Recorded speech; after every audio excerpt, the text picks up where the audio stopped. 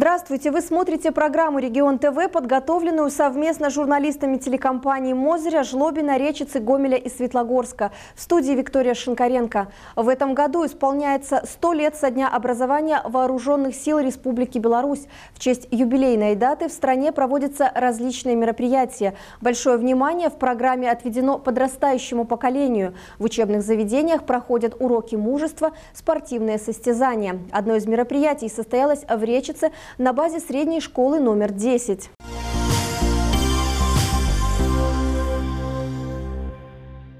Здравствуйте, товарищи! Участников соревнования приветствовал военный комиссар Реческого Илоевского района полковник Игорь Несловский. Старшеклассников до призывников военный комиссар призвал быть собранными, проявить свои качества и навыки. На этих соревнованиях вы покажете свои навыки уже Сможете ли вы стать защитником своего Отечества, своей Родины, своих близких родственников, друзей? Именно с этого возраста, когда вы еще не сформированное тесто, с вас нужно делать настоящих мужчин. Сейчас никто из вас еще толком не умеет ни погладиться, ни пришить пуговицу, приготовить самостоятельно кушать, потому что вы только в интернете умеете лазить. Так вот мы проводим такие соревнования, посвященные столетию вооруженных сил, а у нас в этом году народ отмечать будет сто лет со дня образования вооруженных сил, Дня защитника Отечества. И мы вас будем готовить, учить, и потом лучших из лучших представим на обозрение всей республики. Понятно? Желаю вам успехов в победе в соревнованиях и будет победить сильнейший. Состязались будущие защитники Отечества на протяжении трех дней. Соревнование было разделено на два блока – военный и спортивный. В рамках военного блока команды показывали свое мастерство строевой подготовки, сборки, разборки автомата и стрельбе. Оценивали уровень подготовки профессиональные военные. Делали это по-военному строго, без скидки на юный возраст. Подходит к столу, по команде к оружию, берет оружие, снимается – не палец вне спускового крючка, оружие на предохранителе. За палец на спусковом крючке минус 20 штрафных баллов. Было заметно, что мальчишки волновались, показывая перед судьями сноровку, выносливость, умение четко выполнять команды и задания. Конечно, присутствие на соревновании военного комиссара района Игоря Несловского дисциплинировало ребят и вызвало у них стремление выступить достойно. Каждый участник старался доказать присутствующим, что будущее нашей страны в надежных руках. 12, 18. Молодец. 21. Подобное соревнование для ребят – хорошая возможность в некой мере посмотреть на воинскую службу изнутри, почувствовать себя солдатом. Программа состязаний в целом включала в себя дисциплины, которые позволяют будущим защитникам Отечества в полной мере проявить себя и испытать на физическую мощь, силу, выносливость. Словом, продемонстрировать все те качества, которые пригодятся в дальнейшем во время службы в армии. Сколько? 75. По мнению организаторов мероприятия, молодые люди с удовольствием окунаются во все военно-спортивные игры и патриотические мероприятия, и, что немаловажно, при этом показывают хорошие результаты. На этот раз призовые места распределили следующим образом. На третьей строчке таблицы лидеров детский сад средняя школа номер один. На втором месте команда средней школы номер два. Победителями признаны учащиеся средней школы номер семь. В Светлогорске в Центре творчества детей и молодежи «Ювента» выбрали лучшего классного руководителя. Какой он? Классный-классный. Подробности в сюжете.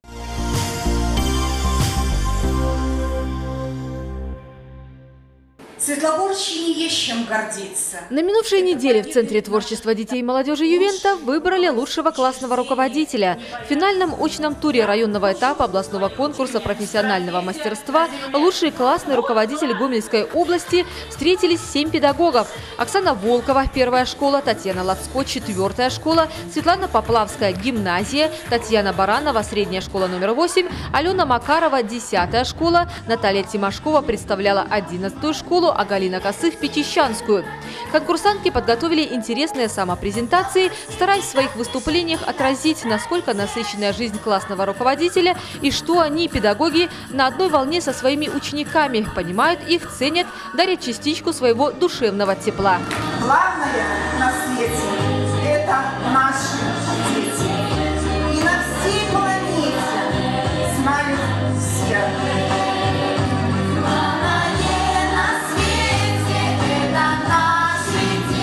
Классные руководители рассказывали о себе, сотрудничестве с коллегами, взаимопонимании со своим классом, делились творчеством, увлеченностью и профессионализмом. Любимых педагогов поддерживали ученики, а также их родители. Я скажу, как ученица, школа может ей гордиться. Привыкли вместе радость и горести делить. И нашей классной мамы поддержку ощутить. Любой конкурс для учителя – это прежде всего возможность раскрыть свой творческий потенциал, систематизировать опыт работы, проанализировать и выбрать самые действенные формы методики, которые дают результат, ведут к успеху педагога и его учеников. Участники нынешнего состязания доказали, что они талантливые, креативные, готовы открывать что-то новое для себя и своих воспитанников. строить, так говорит наш классный.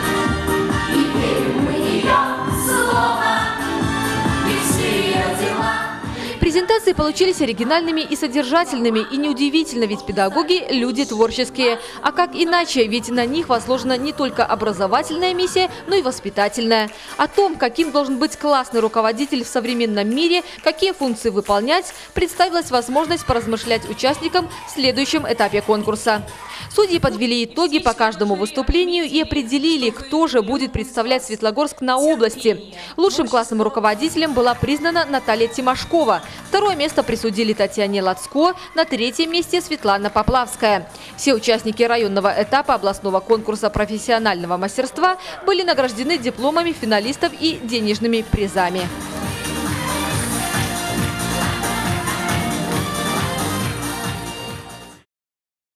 Первый школьный урок состоялся для малышей Мозырского 40-го детского сада. В школе номер 16 дни дополнительных каникул для первых и вторых классов решили использовать для дополнительного знакомства с будущими учениками.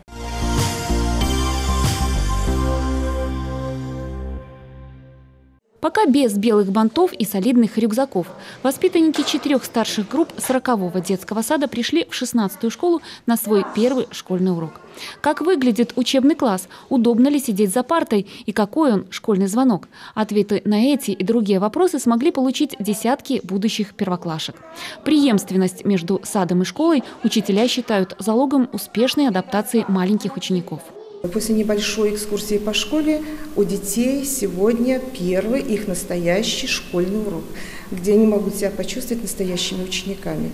Для того, чтобы завтрашний день, который они проживут в нашей школе, был для них интересным, ярким, запоминающимся и, конечно, без страха. Мы уверены, что вот такая форма работы, такие встречи будут одной из тех добрых и э, славных традиций нашей школы. Для ребят это не первое посещение школы. В качестве гостей они присутствовали здесь и на новогодних мероприятиях. Взаимное посещение занятий, экскурсии, консультации, совместные заседания методических объединений воспитателей, учителей и психологов, родительские собрания с участием школьных педагогов, как и все совместные мероприятия, направлены на адаптацию детей к обучению в школе. Полезной встреча была и для педагогов. Евгения Анатольевна Черенкова в этом году выпускает четвертый класс. Признается, расставаться, как всегда, будет сложно, а после самостоятельных десятилеток дошколят окажутся совсем малышами. Когда они вошли, была первая реакция, боже, какие маленькие, совсем, совсем маленькие. Но вот немножечко с ними поработав, мы уже понимаем, что детский сад э, уже сделал очень многое для школы. Они организованы, они слушают, они э, воспринимают уже нас как новое все. Но учителю всегда э, не только страшно, а, знаете, мне еще очень больно отпускать своих детей с теми, с которыми прожили 4 года. И беды, и невзгоды, и радости, и победы, и, и поражения. Мы пережили все вместе, и поэтому мы еще живем с детьми своими, так будем говорить, но уже думаем и о тех, кто к нам придет. Свой первый звонок малышу услышат только спустя полгода. Есть время подрасти и окрепнуть. Учителя советуют родителям сконцентрировать внимание на здоровье и положительном настрое малышей. Это очень хорошо, конечно, когда ребенок приходит подготовленный, но в нашем случае хорошо, если он идет с хорошим настроением в школу, если он не боится школы, если он готов работать в школе, если он уже любит школу. Вот это, я считаю, самое главное. В сентябре эти ребята начнут обучение в разных школах города. Но первое впечатление и уверенность в том, что учиться в школе интересно, останутся в памяти надолго. Лидия Поттер, Виктор Цирулик, Юрий Горобец, телеканал «Мозырь».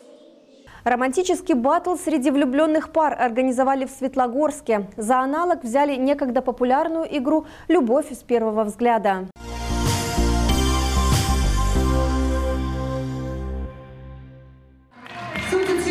День Святого Валентина отпраздновали в минувшую пятницу в Доме культуры энергетиков. В честь праздника была организована романтическая игра. Участие принимали три пары – Константин и Кристина, Егор и Дарья, Артем и Елизавета. Влюбленные должны были подготовить несколько заданий к этому состязанию. Также их ожидал конкурс-сюрприз. Первой традиционно была визитка, в ходе которой участники должны были презентовать жюри и зрителям свою лав-стори. Знакомство, блеск в глазах, вспыхнувшая искра – все как в лучших фильмах о настоящей любви любви. Пары попробовали раскрыть в стихах и танцы свои искренние чувства.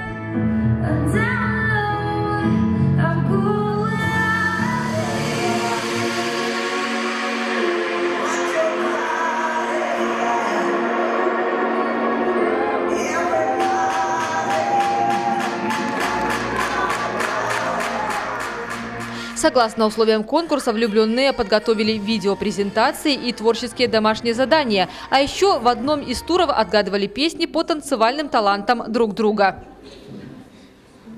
Так, не поем, не поем.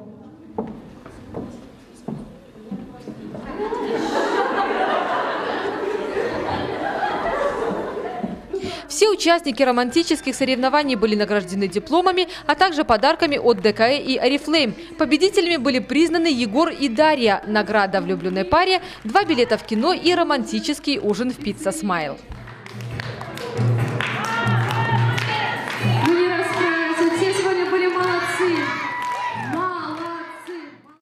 Бёрдвотчинга откроется в Мозыре в конце февраля. Слушателями бесплатных занятий могут стать совершеннолетние жители, а также дети с родителями.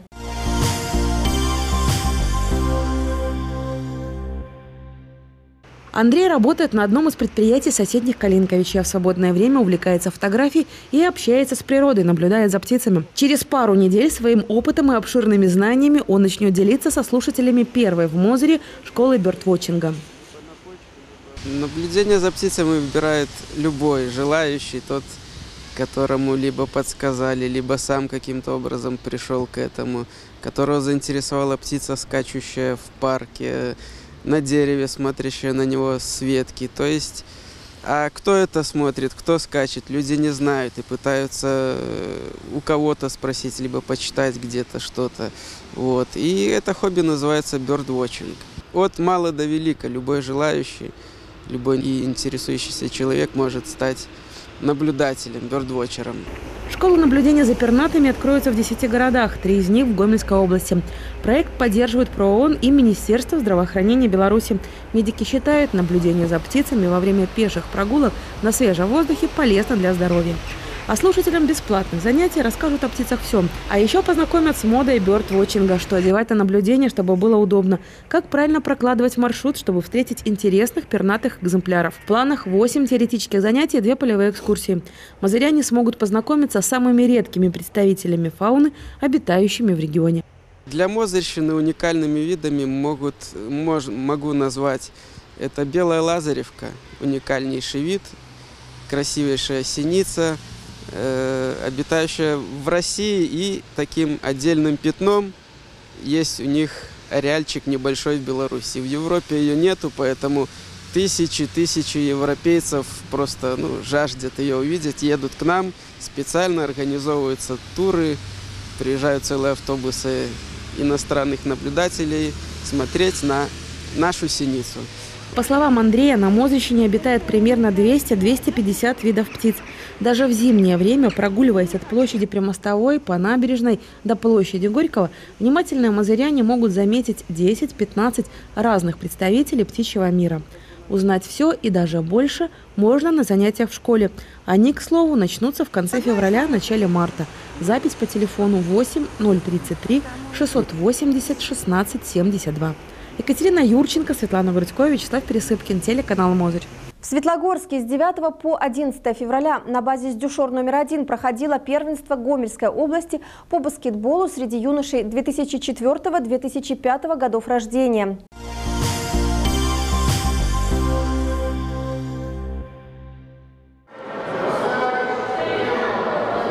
9 по 11 февраля на базе специализированной детско-юношеской школы Олимпийского резерва номер один проходило первенство Гомельской области по баскетболу среди юношей 2004-2005 годов рождения.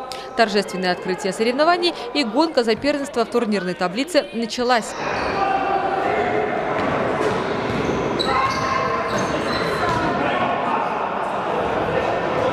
Участие в соревнованиях принимали спортсмены из Речицы, Жлобина, Калинковича, Чечерска, а также две команды из Гомеля. Светлогорск тоже представляли две команды. По итогам серии игр турнирная таблица выглядит следующим образом. На третьем месте гости из детско-юношеской спортивной школы номер два города Гомеля. Второе место досталось постоянным конкурентам светлогорцев, баскетболистам из Калинковичей. Команда «Светлогорск-1» стала победителем соревнований. Она завоевала право представлять нашу область на первенстве республики. Республиканский турнир по греко-римской борьбе имени мастера спорта Валерия Филимончика прошел в Светлогорске.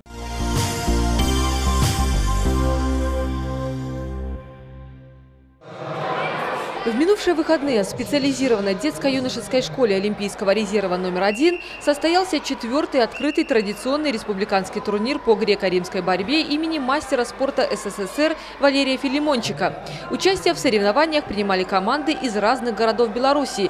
Всего за золото боролись 250 спортсменов.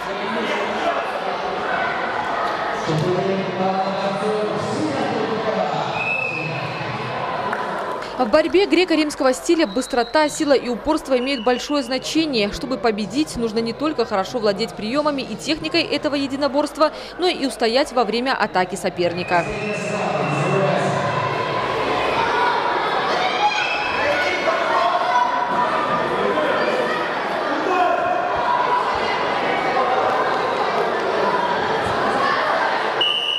Напомним, что этот турнир уже четвертый раз проводится в честь Валерия Филимончика, который стоял у истоков школы греко-римской борьбы в Светлогорске. В начале февраля именитый спортсмен, заслуженный мастер спорта, отметил день рождения. Ученики борцовской школы решили поздравить своего учителя и подарили ему велосипед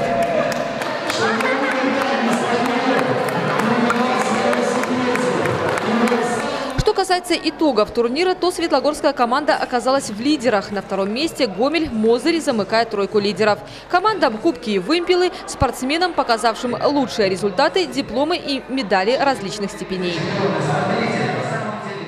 В Речицком районе на базе Ровенско-Слободской средней школы состоялась товарищеская встреча по мини-футболу между командами КСУПов Дзержинский Агро, Фрунзе Агро и Речицкие электрические сети филиала РУП Гомель-Энерго. Главная цель мероприятия – приобщение работников предприятий к спорту, здоровому образу жизни и выявление лучших спортивных команд.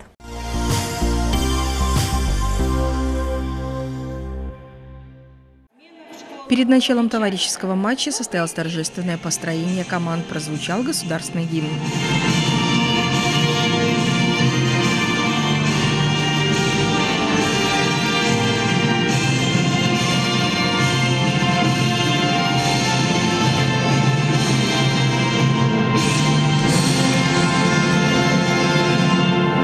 На предприятиях сельскохозяйственной отрасли в структурных подразделениях реческих электросетей физической культуре и спорту уделяется должное внимание. Команды ежегодно принимают участие как в отраслевых спартакиадах, так и в круглогодичной районной по различным видам спорта.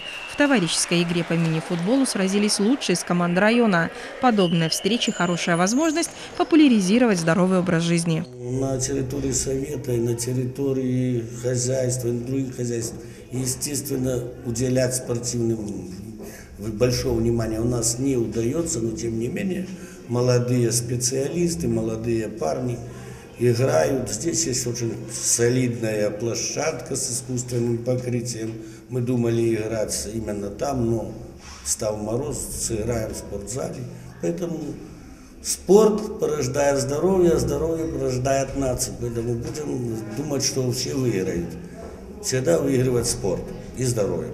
Спорт у нас, э, конечно, э, имеет высокую планку. Мы постоянно и в выходные дни, и в нерабочее время проводим всякие спортивные мероприятия. Футбол на высоте, потому что команда подобралась с разных подразделений. У нас порядка 15 человек. И заняли мы, всегда, вернее, занимаем призовые места. Э, были фаворитами 2017 года. По Рижскому району первое место, по области второе место.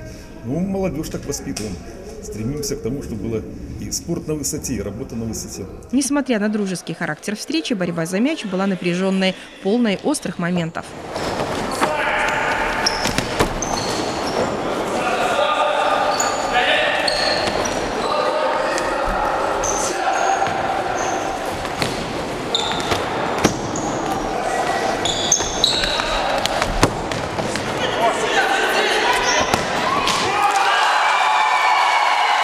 Итоге почетное третье место завоевала команда КСУБ Фрунзе Агро, второй КСУБ Дзержинский Агро. Футболисты реческих электросетей в очередной раз подтвердили свое лидерство. Игрокам вручены сладкие призы, грамоты, команде победительницы главный приз Кубок.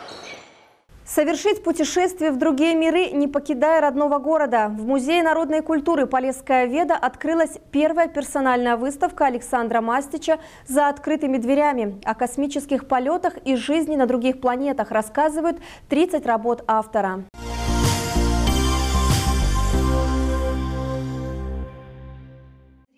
Свободный полет фантазии и никакого реализма. А как еще можно было бы рассказать о жизни в далекой галактике, когда наука не торопится отвечать на главный волнительный вопрос человечества? Есть ли жизнь на других планетах? Мозырский художник Александр Мастич уверен, не только есть, но и обладает самыми непредсказуемыми формами, которые порой не так легко запихнуть в картинную раму. О нарушении границ формальных и мыслимых, если художник и задумывался, то точно не в седьмом классе, когда впервые открыл для себя учебник по астрономии. Первым увлечением из искусства для него стала фотография, тогда как живопись казалась такой же нереальной реальной, как и далекие планеты. По черно-белому телевизору, тогда еще в 80-х годах прошлого столетия не учили цветные телевизоры. Э, увидел Лувр, что такого увидеть, и увидел художников. Впечатлило страшно, впечатлило. Вот непередаваемо. Он что-то потянуло вот самому сделать что-то такого подобное. Вот, вот с этого начала берет мое творческое. Фантастический полет моделирования иных миров, космический проект. Название картин словно сошедшее с черновиков Вернадского или Циолковского. Лишний раз напоминает, с какой тщательностью Александр Мастич подходит к своим произведениям. Некоторые картины создавались на протяжении 10 лет. А еще за тем, что кажется мимолетной фантазией, скрывается целая художественная школа. Первый мой художник, ну, которым я ну, впечатление получил от художника, это Исачев, Александр Исачев. Он художник э, э, такого мистического жанра, э, художник, э, который писал миф, мифологию, который писал библейские сюжеты. Э, по, его друг Семен Сурпин здесь в Мозыре работал, и я к нему попал как раз в мастерскую, и у него занимался. Вот с этого берет мое творческое начало. Графика, живопись, фотография. Сегодня уже под его педагогическим руководством воспитанники детской школы искусств номер 3 открывают для себя увлекательный мир искусства. А ведь за открытыми дверями мастером своего дела это сделать намного проще. Первая персональная выставка Александра Мастича доступна посетителям Полесской Веды со вторника по субботу до 6 часов вечера. Вячеслав Приписнов, телеканал Мозырь. Это был последний сюжет нашего выпуска. Смотрите «Регион» на следующей неделе. Всего вам доброго!